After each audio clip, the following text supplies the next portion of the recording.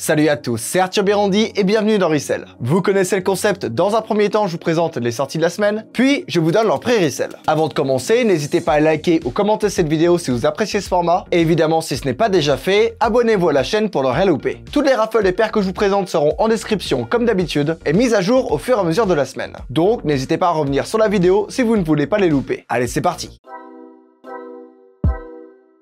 on commence avec 4 Dunklo Black and White qui ont droit à un énième restock. La Dunklo Black and White classique, la Dunklo Women's Black and White, la Dunklo Women's Black and White Next Nature et la Dunklo GS Black and White. Bon, vous connaissez forcément la paire et si vous ne la connaissez pas, vous venez probablement de sortir de votre grotte. D'un côté, on retrouve le modèle classique, qui est le plus commun et celui que tout le monde cherche à avoir. De l'autre, on retrouve le modèle Women's, qui permet aux petits pieds d'avoir plus de chances de la COP, mais également son alternative écologique qui diffère un peu de la classique, et enfin la GS pour nos chers enfants qui veulent déjà rock des de sneakerhead. Non, par contre, je sais pas vous, mais jamais j'achèterais ce genre de paire à mes enfants. Je veux dire, leurs pieds grandissent tout le temps. Faites comme tout le monde, allez chez Pomme d'Api. Et encore, c'est un mauvais exemple puisque Pomme d'Api c'est assez cher. Elles sortiront toutes les 4 le lundi 23 janvier au prix retail de 110 euros pour les 3 premières et 90 euros pour la GS à 9h sur Nike.com. On continue avec la Air Jordan 4 Midnight Navy. Calmez-vous, c'est pas un restock, mais c'est quand même une nouvelle possibilité de pouvoir la cop. Comme vous le savez, cette paire était un banger en 2022 et son resell ne fait qu'augmenter au fur et à mesure des semaines. Donc quand ce genre d'occasion se présente, faut vite se jeter dessus. Car nombreux sont ceux qui veulent rock cette merveille. La paire est dotée du fameux Simon Print que vous aurez tous reconnu, mais aussi d'un cuir blanc et d'un bleu marine magnifique. Bref, pas la peine de tarder, vous connaissez la chanson. Et là, ce n'est qu'une raffle, donc les stocks seront très limités, mais vous savez ce que j'aime dire, qui ne tente rien, n'a rien. Elle sortira le lundi 23 janvier au prix retail de 200 euros en raffle sur asphaltgold.com.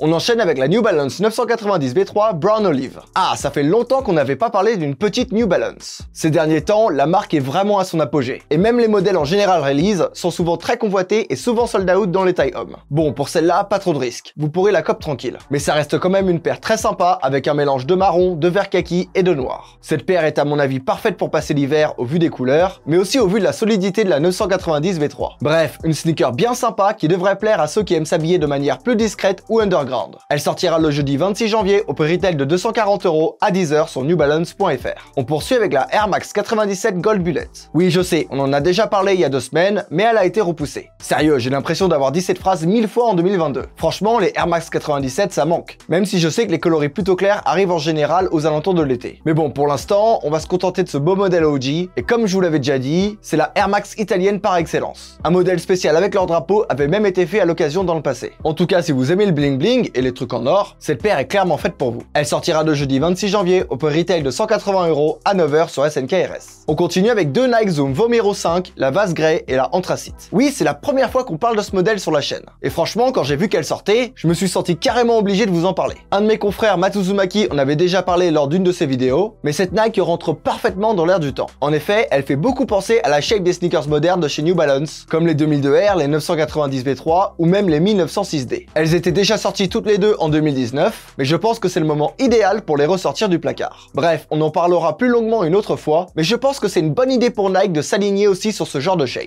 Elles sortiront toutes les deux le vendredi 27 janvier au prix retail de 160 euros à 9h sur SNKRS. On enchaîne avec la Yu-Gi-Oh! Adi 2000 Core Black. C'est l'heure du, du, du, du duel Désolé, je pouvais pas m'en empêcher. Mais là, c'est toute mon enfance Alors, celles qui sont sorties juste avant ont été une grosse déception pour moi, comme pour beaucoup de fans de la franchise. Mais cette fois, je pense qu'on tient un vrai banger. Pour les détails, on retrouve un petit puzzle du Millennium, un œil du Millennium et un logo sur l'avant des deux chaussures. Mais aussi des bandes dorées sur le côté. La paire est certes toute noire, mais on remarque bien le violet de l'intérieur de la chaussure qui ressort bien. Sur les insoles, on retrouve la silhouette de notre héros dont la paire est inspirée, Yami-Yugi. Et enfin, comme vous le voyez, on retrouve une boîte absolument sublime, accompagnée d'une carte du Magicien des Ténèbres en édition limitée. Vous l'aurez compris, oui je vais l'acheter, oui je suis un Yonkli, et oui on va l'unboxer sur la chaîne. Et je sais déjà avec qui et je vais l'inviter. Elle sortira le vendredi 27 janvier au prix retail de 120 euros à 9h sur Adidas Confirmed. On enchaîne avec la Union Air Jordan 1 KO Neutral Grey. Oui, c'est clairement la paire de la semaine. Union, si vous connaissez pas, c'est un shop à LA très connu pour avoir des items exclusifs et souvent en avant-première. Et cela fait maintenant plusieurs années qu'ils ont l'habitude de collaborer avec Nike. Pour cette paire, ils se sont inspirés du modèle KO, un modèle de Air Jordan 1 moins répandu que les autres, mais qui je trouve rend cette paire géniale. Déjà, elle n'est pas en cuir mais en canvas blanc, ce qui est certes plus salissant mais plus esthétique et classe. Sur le côté, on retrouve un souche argenté qu'il est possible d'enlever, et enfin, à l'arrière, on retrouve les étiquettes habituelles du shop et le fameux AGKO qui accompagne les wings.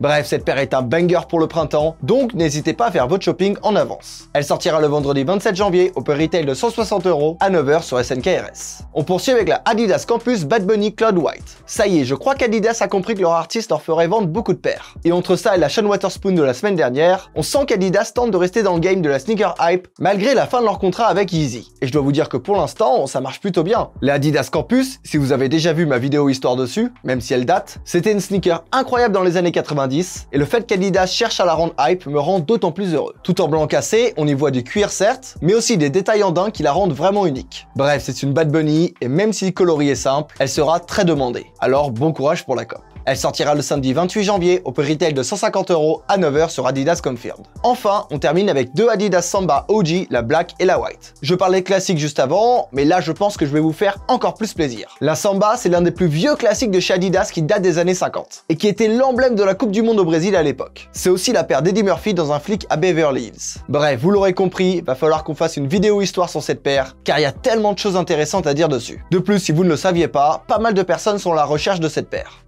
Risque d'y avoir du monde qui en achètera la semaine prochaine. Mais vous inquiétez pas, pas de resell. Elles sortiront toutes les deux le samedi 28 janvier au prix retail de 120 euros à 9h sur adidas.fr. Allez, assez parlé de sortie, sort ton portefeuille, c'est l'heure des prix resell du lab. Tout d'abord la Dunklo Black White, qui sortira prix retail de 110 euros et se revendra à alentours de 160 euros. Concentrez-vous sur les tailles 43 à 47. Puis la Dunklo Women's Black White, qui sortira prix retail de 110 euros et se revendra à alentours de 160 euros. Concentrez-vous sur les tailles 41 à 44,5. Ensuite la Dunklo Women's Black White Next Nature, qui sortira prix retail de 110 euros et se revendra à alentours de 150 euros. Concentrez-vous sur les tailles 41 à 44,5. Puis la Dunklo GS Black White, qui sortira prix retail de 90 euros et se revendra à alentours de 140 euros. Concentrez-vous sur les tailles 38 à 40. Ensuite, la Air Jordan 4 Midnight Navy, qui sortira au prix retail de 200 euros et se revendra à alentours de 330 euros. Concentrez-vous sur les tailles 43 à 47. Puis la Union Air Jordan 1 KO Neutral Grey, qui sortira au prix retail de 150 euros et se revendra à alentours de 180 euros. Concentrez-vous sur les tailles 43 à 47. Enfin, la Adidas Campus Bad Bunny Cloud White, qui sortira au prix retail de 160 euros et se revendra à alentours de 200 euros. Concentrez-vous sur les tailles 43 à 47. Voilà, c'est tout pour cette semaine. Merci au Lab pour ces Comme dit dans l'introduction, tous les liens des raffles seront disponibles en description et seront mis à jour au fur et à mesure de la semaine. Allez, bon courage pour COP, n'oubliez pas de liker et de commenter la vidéo pour le référencement, et moi je vous dis comme d'habitude, à la semaine prochaine.